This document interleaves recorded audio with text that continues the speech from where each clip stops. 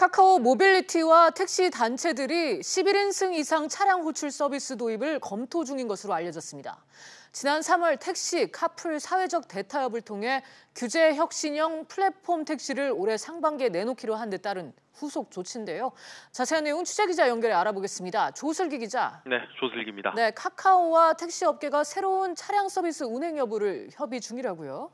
네, 카카오와 4개 택시 단체가 11인 이상 최대 15인승 차량 운행 서비스 도입 방안을 논의 중입니다. 카카오의 자회사인 카카오 모빌리티와 전국 택시 노동조합 연맹 등 4개 단체는 오는 23일 회의를 열고 최종 결정을 내릴 것으로 예상되는데요. 소비자가 카카오티 앱으로 호출하면 택시기사가 호출을 받아 차량을 운행하는 방식인데 약 5천 대 가량이 검토되고 있는 것으로 알려졌습니다. 실제 도입되면 렌터카를 기반으로 이미 시장에 진입한 11인승 공유 서비스 타다와의 갈등이 불가피할 것으로 보입니다. 카카오 측은 현재 아이디어를 논의하는 단계고 확정된 것은 없다고 밝혔습니다. 네, 카카오 택시 관련해서 소식 하나 더 짚어보죠. 오늘 오전에 출근길 서비스 장애가 발생했죠?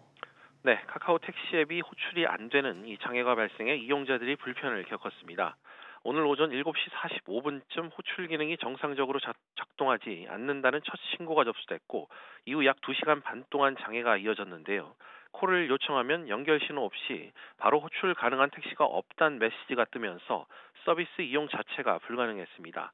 서비스 장애는 10시 15분쯤 복구됐고 카카오는 사과문과 함께 원인을 파악 중이라고 밝혔습니다. 지금까지 SBS CNBC 조슬기입니다.